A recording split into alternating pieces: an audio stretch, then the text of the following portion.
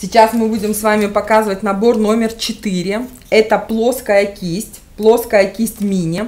Если у вас идет белая этикетка под кистями, это краска.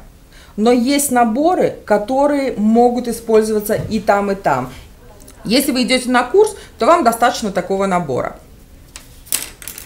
Внутри в упаковке идет э, распечаточка, на которой идут типсы тренажерные, вы можете рисовать на них, а можете свернуть эту распечаточку, засунуть назад в упаковку и тренироваться там. Кисточка, которая называется 4, это значит здесь 4 миллиметра. Если на ней написано двоечка, то это реально 2 миллиметра, и вам надо попасть и сделать малюсенький лепесточек.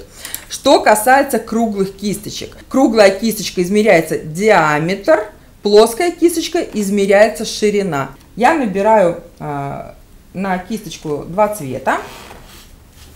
И смотрите, ширина этого мазка и мягкость этого мазка выкладывает очень хороший мазочек, сразу же с бортиком, то есть не требующий прорисовки. В данный момент мы работаем акриловой краской, но и в геле она работает замечательно.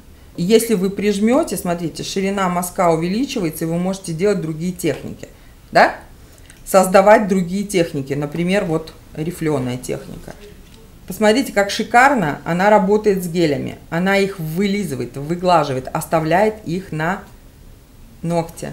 Видите? Выкладка хорошая идет у нашей кисточки, она выглаживает материал, и если вы работаете гелем с этим набором, то вам нужен еще один, без него не обойтись. Это 12 комплект, это который делает тонкие-тонкие линии.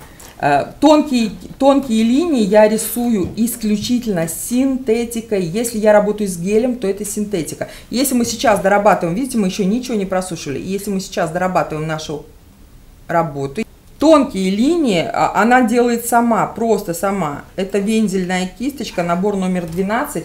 Там есть а, кисточка, которая тянет геометрию, тонкие линии, которые геометрические, и кисточка, которая делает вензеля.